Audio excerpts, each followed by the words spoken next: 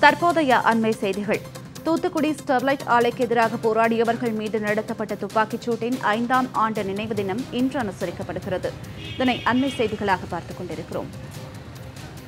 இதுகுறித்த விரிவான தகவல்களை எமது செய்தியாளர் முத்துமோகன் வழங்க கேட்கலாம். வணக்கம் முத்துமோகன். தூத்துக்குடி துப்பாக்கிச் சூட்டின் ஐந்தாம் ஆண்டு நினைவு தினம் இன்று அனுசரிக்கப்படுகிறது. இது குறித்த விரிவான தகவல்களை சொல்லுங்க.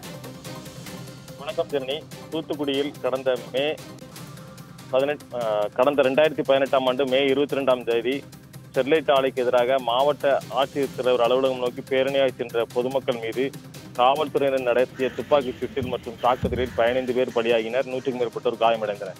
இதன் ஐந்தாம் ஆண்டு நினைவு தினம் இன்று கடைபிடிக்கப்படுகிறது.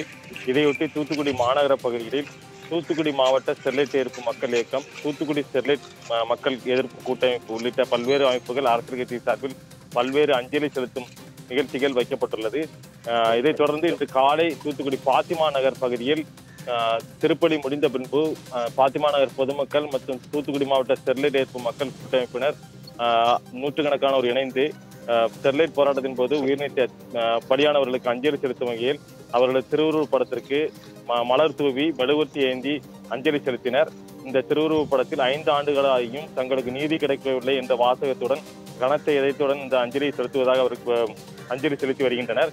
மேலும் திமுக அரசு தங்களது தேர்தல் வாக்குறுதி கூறியபடியும் சட்டமன்றத்திற்கு கூறியபடியும் ஸ்டெர்லைட் துப்பாக்கி சூட்டுக்கு காரணமான அதிகாரிகள் மீது இதுவரை நடவடிக்கை எடுக்கவில்லை. மேலும் ஸ்டெர்லைட் ஆலையை சிறப்பு சட்டம் இயற்றி அகற்றவில்லை உள்ளிட்ட கோரிக்கைகளை அந்த அஞ்சலி செலுத்தும் மக்கள் வைத்து வருகின்றனர்.